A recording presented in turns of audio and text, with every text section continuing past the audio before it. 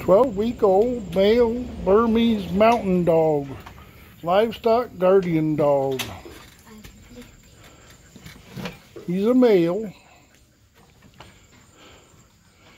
I've got Kenner all around me. He's good with Kenner. Don't know about cats. The farm he came from doesn't have no cats. But I'll bet he could be made to tolerate cats. He's just sitting here on the front porch.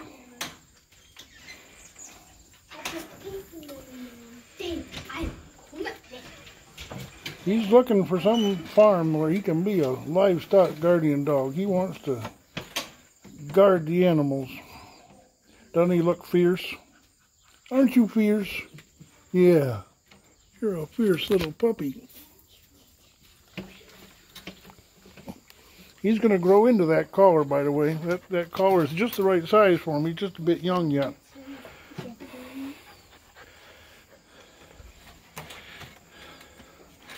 The Kenner are all trying to push me, trying to get that in the picture. I got them outsmarted. This is Boomer, the livestock guardian dog, a Burmese mountain dog very good for livestock guardianship.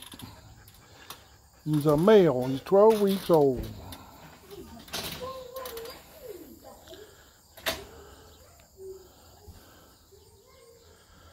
He's going to find a new home pretty soon. Could be your place.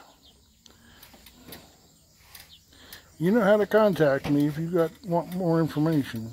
God bless.